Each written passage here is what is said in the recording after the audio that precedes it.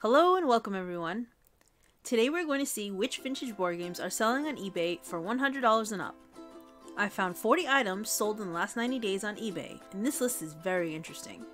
Maybe you've seen or played some of these games before. Let's get started. Our first game is Lost in Space from 1965. This sold for $200 and $13 shipping. Here's a close-up of the board. This is from the classic TV series Lost in Space. Next is a vintage 1980s Murder She Wrote board game. This sold for $150, $17.99 shipping. Here's a close-up of the board. Cover features Angela Lansbury. Next we have a vintage 1969 group therapy board game. This sold for $275, 774 shipping. So we have therapist cards, game pieces, and here's a close-up of the board.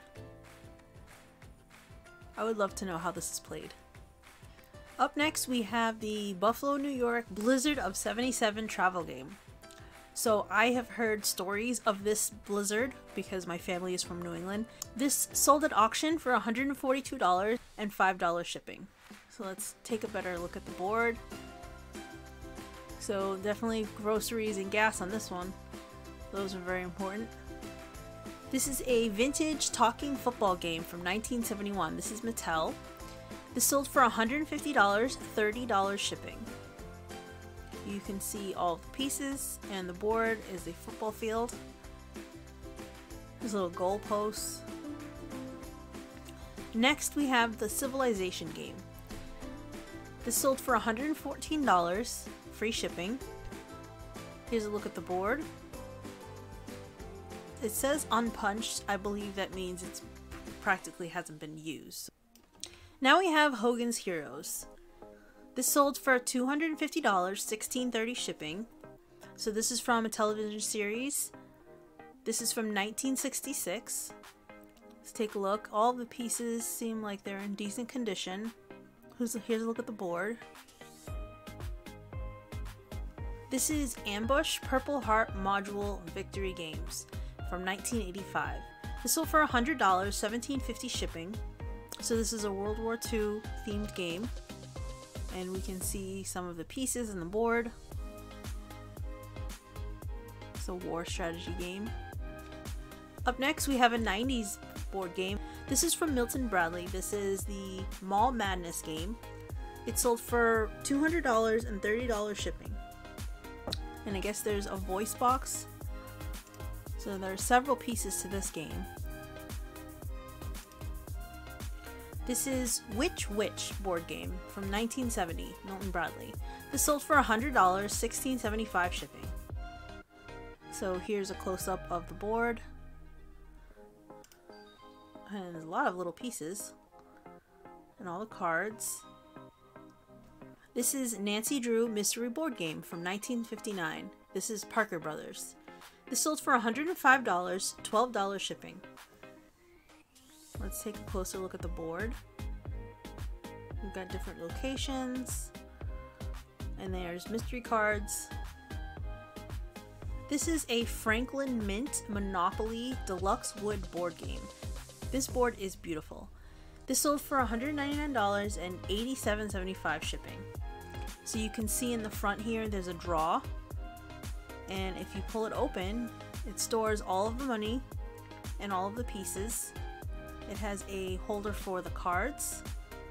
And you can see all of the pieces are gold. This is a really nice set. This is American Heritage Broadside. This is a naval battle game by Milton Bradley in 1962. This sold for $120 and $8.31 shipping. Here's a close-up of the board. And you have several different ships. Next we have a Sinking of the Titanic board game. This is from 1976. It sold for $132, $12.20 shipping. So we can see the Titanic ship and the water with some islands. There's several cards and many characters. Here's another 90s vintage board game. So this one's called the Dream Phone board game. and it actually has a battery operated phone. This sold at auction for $115, $15 shipping. I'm pretty sure as a kid I probably saw the commercial for this. I was probably like 12 years old when this came out. Here's a close-up of the board. So these are all potential dates. Some of the cards with their phone numbers. and here's the phone that it comes with. Here's another TV show themed board game. This is Gilligan's Island, which I'm sure most people have heard of. This is from 1965. It sold for $250 and $12.62 shipping.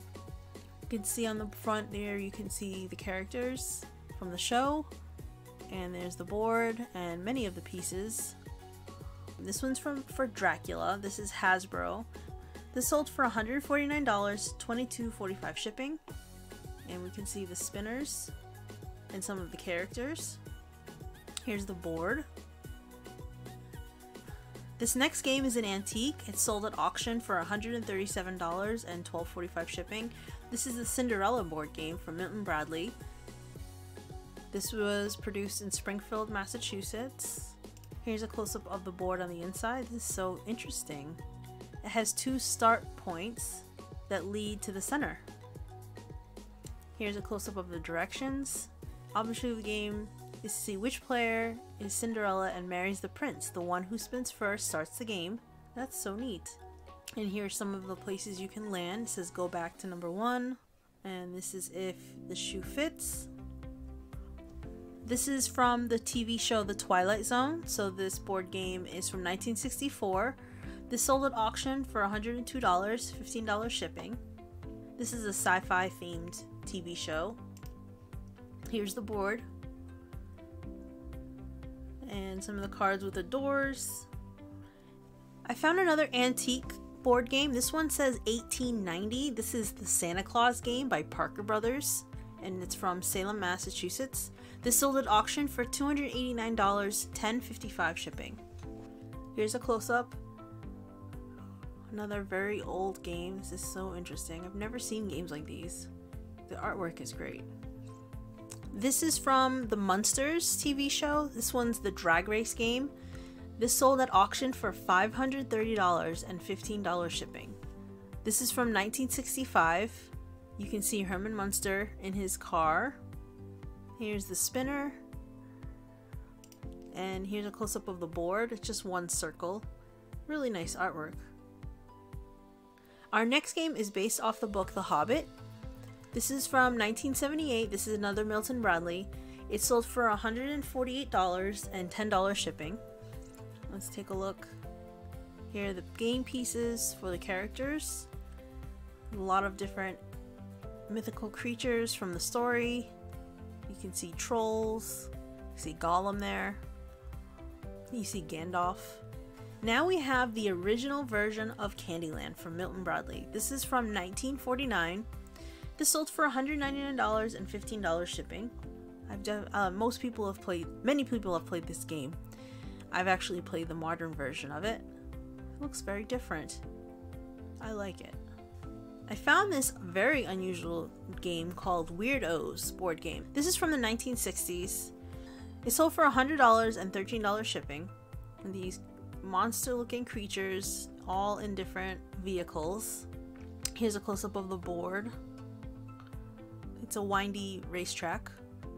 And here's some of the pieces and cards with a spinner. Here we have another Monopoly game. This one is a vintage World War II era board game. This is from 1935. It sold for $117, $14.50 shipping. And take a look at the inside. You can see the money and the cards. The houses are made of wood. You can see all the player pieces. And this was made in Salem, Mass does have damage on the outside, which is something that board game collectors do care about. So if you do list a vintage board game, please be sure to include photos of any damage to the box inside and out and try not to make more damage by putting any kind of tape on the box. I also wanted to include some pieces of board games. So this is the Backgammon board. The reason I believe this one is special is because it's a folk art themed and it's more of wall decor. This sold for $170 and $18 shipping. And you can see that it has worn paint It's been it's been nailed, so it has a ha wire hanger. And this one says G Miller as the artist on the back. When I was checking out board games, I also noticed that a lot of backgammon pieces were selling for high prices as well. So these are called Bakelite Chris Lloyd pieces for backgammon. Um, they are beautiful. This set sold for $230, $11.45 shipping. And you can see they're well-made pieces, almost like marble. So keep an eye out for those as well. I also noticed these solitaire marble games. This is gorgeous. It says a Bombay wooden solitaire game from 1994. It sold for $150, $13 shipping. It comes in a box with a set of polished stones. Next, we have another antique board game. This is from The Wizard of Oz, Parker Brothers. This sold for $108, $22 shipping. I also want to let you know that even if you're missing pieces, these games can be valuable. This is actually just the box with some pieces of the game but no board. You can see here you have the box, the bottom and top, and you have some of the pieces, but that is about it. It does not actually have the board with it. And this sold for over $100 with missing pieces. Up next is Spider-Man. This is from 1977. This says unpunched and it sold for $115, $20 shipping. Let's take a look at this board. Very nice colors, great graphics. So the pieces haven't been punched out, so I guess that's what it means. Basically, the board game hasn't been assembled yet. We have another board game from a TV show. This is from Land of the Giants. This is this sold for $220 and $14.50 shipping. Here's a close-up of the board. And several different pieces, all cut out cardboard and with all the stands. Next we have Get Smart from NBC. This is from 1965. This is from the Ideal Company. This sold at auction for $156, $15 shipping. And here's the board. Oh, and we have little figurines. These are really nice. Next we have The Outer Limits. This is from 1964. This sold at auction for $164 and $15 shipping. Here's a look at the board and some of the cards. This is the Time Tunnel from ABC, and this is from 1966. Also sold at auction. This sold for $132 and $15 shipping. Here's a closer look. Oh, so we have prehistoric time, we have World War II. Here's some of the pieces and some of the cards with the spinner. Next we have a board game from the cartoon Scooby-Doo. This is from 1973, made by Milton Bradley. This sold for $100 and $11.45 shipping. Here's the board. This one looks really fun. And here's some of the cards and the pieces. This next game is called Dungeon. This is a fantasy Dungeon and Dragon style board game. This is from 1981. It sold for $125, $11 shipping. Let's take a look. This is very intricate. There's a lot of paths on this one. And here are a bunch of the cards. We have monsters and treasure. Now we have a 1987 Milton Bradley game called Hotels.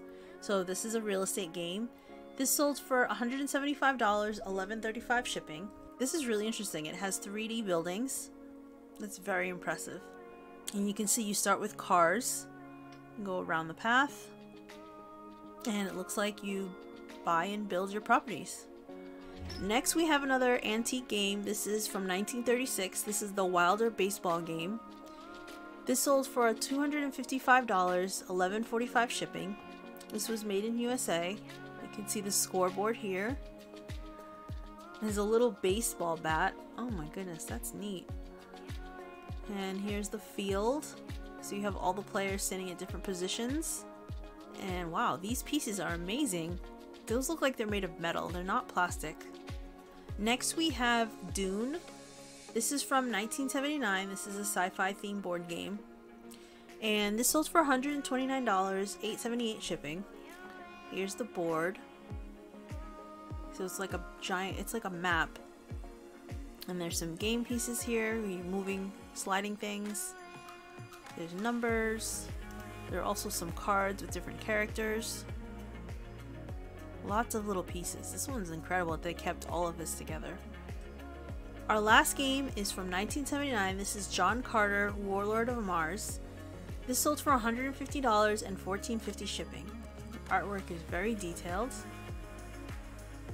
They didn't take a full picture of the board. This is really interesting. It looks very involved. There's some charts and tables here. It's kind of like a turn attack game. This is really different. As always, we hope this information was useful to you. Please like, subscribe, and leave a comment. Let us know which item categories you'd like us to research in future videos. Thank you for watching!